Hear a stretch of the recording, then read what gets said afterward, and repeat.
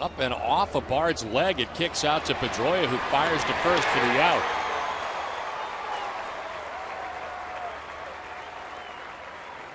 Two down in the eighth. Now Pedroia heading in that direction because the ball was heading up the middle. Then the deflection off Bard gave Pedroia a chance to make the play.